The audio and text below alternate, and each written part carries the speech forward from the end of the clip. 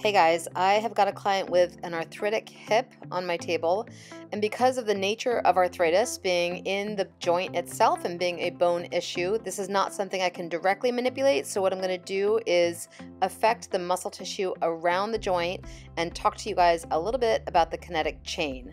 So, walking through how a dysfunction like this can throw off the entire structure and how you can help as a massage therapist, unless your client really likes knowing when it's going to rain without looking at the Weather Channel. I'm starting off with a little game of bones, which is my butter that is geared towards arthritis pain and promoting joint health. Because if you're going to play this game, you got to play it right. I'm also starting in the low back, which if you'll notice is not the hip. I'm doing this because my client was complaining about a little bit of low back pain as well as knee and foot issues that weren't huge, but definitely affected by the arthritis and thrown into play because of the way that he moves in an effort to protect the arthritis and create a holding pattern around trying to find movement that is not painful. Enter the kinetic chain. The kinetic chain is really just the notion that if one segment or body part moves, it sets into motion a chain of events that's going to affect other segments or body parts. So let's just say that our friend here wants to go for a walk. He's going to pick up his right leg, and in order for him to do that, his spine has to move to allow for room underneath the ground. His knee is going to bend, his ankle is going to bend, his left leg is going to stabilize, and he is going to create forward motion. Let's just say our little friend here also has arthritis in his right hip. As he picks up that right hip, it doesn't move as much as it should. Therefore, his whole body has to pick up a little bit more. His spine has to move farther, creating muscular tension on the right side, opening up the left side more so than it usually would. His left leg has to stabilize more, and that right leg is going to struggle to move forward. This walk is no fun for this frog. So this is why I'm starting in with the low back first, and I'm explaining to my client while I'm working the theory behind why I'm doing what I'm doing. If you'll notice, I'm pushing the tissues really down towards the hips and trying to soften up the tension that exists in his low back so that his hips can feel like they have a little more room to move and the tension in the low back softens up. That muscle guarding starts to soften up. It just relieves the general pain that can exist around arthritis, not the arthritis itself, but the pain that comes with muscle guarding around an area that is dysfunctional. When I push tissue towards an area to help soften it, I like to think about it like a bungee cord. So if you've ever bungee corded something, I don't know, to the roof of your car or something along those lines, you know those hooks can hold pretty tight and you've got to push the cords together in order for those hooks to release. So in softening up the tissue towards the attachment sites, I am in my head envisioning that these little hooks or these attachment sites onto the bone, onto the hip in this example, are starting to let go a little bit, loosen up, and relieve a lot of that pull.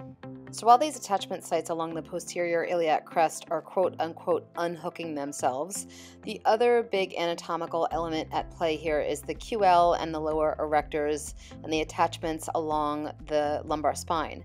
So my focus as I'm softening these muscles down towards the hip is to also relieve any muscular tension that exists in this region, a little trigger point therapy, some compression, and just using the softness that I've just created to sink in a little bit deeper and allow those muscles to breathe and rest from this extra work that they've been doing.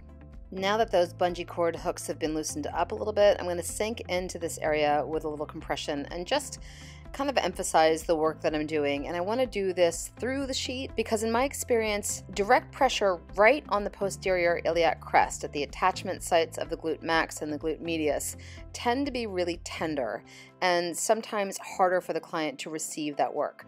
So I do these compressions with a little shaking, a little jostling through the sheets because it gives the client a little more comfort and a little more cushioning and the work isn't so direct and so severe. And the last thing I'm doing to bring it all together is to connect the hip up through the back and to connect the hip to the other side. And so reinforcing the functionality of the kinetic chain and trying to inhibit some of those holding patterns.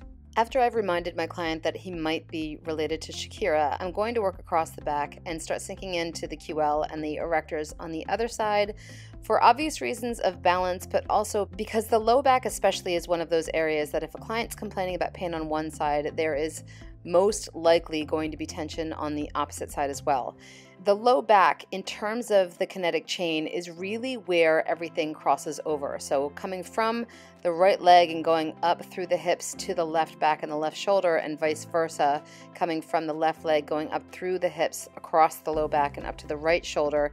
This is where you'll see a lot of patterns of pain or dysfunction show up In an effort to address this, I'm going to start asking my client to engage and remind this kinetic chain of how it should function and allow it to contract in its entirety and then sink in as he's releasing. So, this first technique, I'm having him lift his right leg, knee straight, up off the table, and his left arm simultaneously towards the wall in front of him, engaging all the muscles through his lower back into his hips while I sink down into the QL. And then, vice versa, I'm going to do the same thing with the left leg and the right arm. So, what this does is it pulls that kinetic chain into play and really connects one side of the body to the other and the lower half of the body to the upper half and allows everything to reset and recalibrate. This is the same technique here performed on the left side of the body and the only reason why I haven't chosen to walk around and stand on the right side is for filming purposes. But you can really stand on the same side that you're accessing or you can stand across the table and reach across the low back. Either one, it just depends on what you prefer mechanically. Staying on the same side allows you to lean in and sink in and use a little less force with your fingers and your arms. Standing on the opposite side allows you to pull instead of push and lean back and pretend like you're water skiing. I've moved down to the leg because, like I mentioned earlier, I'm not focusing so much on the actual hip as much as I am on the muscles around the hip that are guarding and creating some firing patterns that are becoming dysfunctional for my client. So after I've warmed up the leg, I'm moving into the adductors and I'm really focusing on softening them with that same intention of the bungee cord hooks. For the most part, their origins are up in the pelvis at the most inferior aspect of the pubic bone, which we never access, but what I can do is grasp these muscles and knead them away from the femur and start influencing them up towards their attachment sites in the groin. I'm not working all the way up into the groin, but I'm softening those attachment sites and creating a relief in an area that often often gets no relief, especially with somebody who's got arthritis. If you'll notice, my knee is up on the table, and that's just there to create a soft blockade for my client's leg so that he doesn't feel like he has to use his own muscles to hold his leg on the table and he can relax a little easier. I've switched my focus over to the hamstrings and I've got an entire video on the hamstrings. So if you want to check out that video, you can click that icon up in the corner of your screen. But for now, I'm going to repeat the pattern that I was doing earlier with both the low back muscles and the adductors. I'm crowding the tissue towards the pelvis so the attachment sites all along the different aspects of the pelvic bone start to unhook and release. Here with the hamstrings, I can do this with a soft fist or with a forearm or an elbow. I've definitely found patterns in muscles that like to be worked certain ways. The adductors I feel like to be grasped and pulled away from the femur, whereas the hamstrings I feel react a little bit better to compression and deeper, broader work. So I'm sinking in and I'm pushing the muscles up towards the origin at the ischial tuberosity. And to add a little twist into it, I'm going to start sinking in with my left hand while I use my right hand to internally and externally rotate the leg at the ankle. So I'm just grabbing his ankle and pulling it in and out a little bit, creating a little movement of the hamstrings underneath my thumbs where I'm pressing in. This can feel really good, especially when your client is just used to feeling that simple compression, throwing some movement into the work that you're doing can access different sensory receptors that can help access a deeper sense of relief. At this point, it's a good idea to sink into the muscles themselves that you have been crowding and softening. So, compressing down into the glutes and into the deeper muscles of the hips, and starting to slow down the work and offering some stillness and recognition of all this tension that's been holding on and allow it to start to let go and unravel. I want to keep this awareness of the kinetic chain and a sense of connectedness for my client. So as I'm sinking in with my right hand here, I'm using my left hand to travel up the back a little bit and allow for movement of the hips and the spine to start to feel like they have some synchronicity.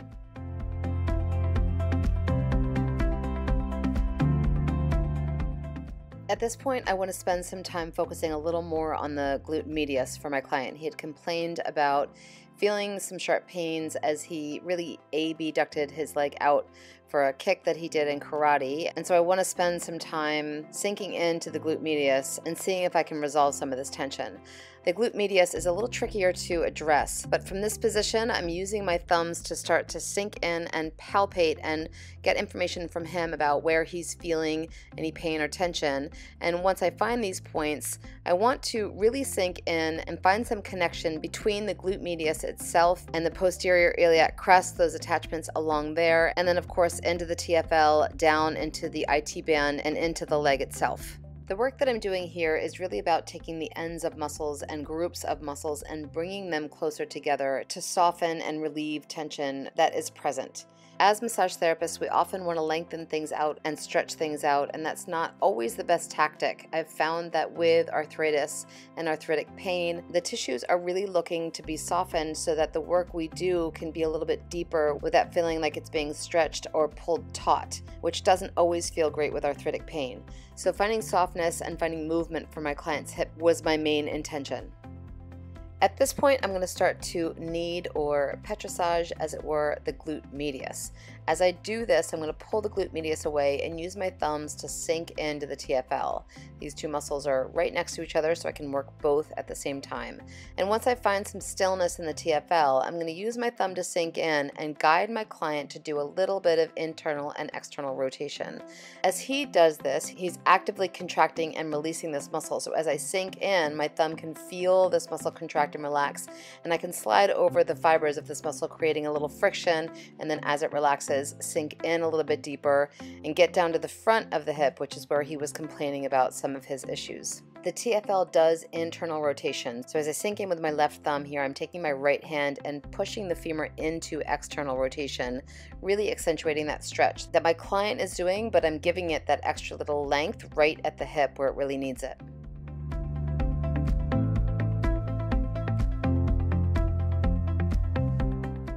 I've used my huge spatula to flip my client and now he's on his back. And I'm taking a second to just use my palms on the ASIS on both sides and rock his hips a little bit, creating an awareness of the spine through the hips down through the legs. And I'm going to start into his leg by lifting it up and giving his hip a little bit of traction. If you'll notice, I'm not working on the same hip, and this is really just about filming purposes. Um, I did do all of this work on his actual arthritic hip, but for the sake of getting all of this on camera, I had to demonstrate on his right leg as opposed to his left. What I'm doing right now is asking him to bring his knee to his chest, and then when he releases it down, I pull that traction a little bit more, really opening up the front of the hip. This is actually super effective in creating space in the hip flexors, which are often tightly compacted and really hard to release. I want to give his hip some passive range of motion while I have him in this position. So a couple things. I'm going to have him grab the sheet that is wrapped around his leg, which gives him a little control around his feeling safe and draped securely. And the other thing is that when you offer a joint that has arthritis passive range of motion, that's going to influence the release of synovial fluid. Sometimes movement can feel really painful with arthritis, but movement is almost always the key towards managing pain and being able to do those day-to-day -day activities the movement I'm doing is a little bit bigger and you might want to start with really small movements with any kind of arthritis in any joint. Um, but once I've got him in this position, I'm using my right hand to allow his hips to move in unison. So as I allow his leg to drop down towards the floor, I'm going to use my hand to pull that left hip up off the table and vice versa. As I pull his leg up a little bit, I'm going to push that right hip down. This gives the spine a little more mobility and allows for movement that maybe hasn't happened for a while while. If you'll notice, I've also got his foot hooked into my hip and I'm just holding my left hand underneath his knee. So when I let his leg fall down towards the ground, I'm just allowing gravity to do the work. I'm not doing a lot of pushing and pulling here. The mechanics of these movements are allowing everything to happen naturally and not with a lot of force from my end. Same idea with this technique here, but instead of allowing the leg to drop down to the floor, I'm just lunging forward to push the knee up towards his chest and using my right hand to pull his opposite hip down towards his foot. So just creating movement in every direction. The hips are really complicated and can move in so many different ways, and it's important to remind them that they actually can do so. Don't forget to support the knee as you bring the leg back down onto the table. Work the lower leg and the foot as you wish, and then walk over to the other leg and do it all over again. Good job.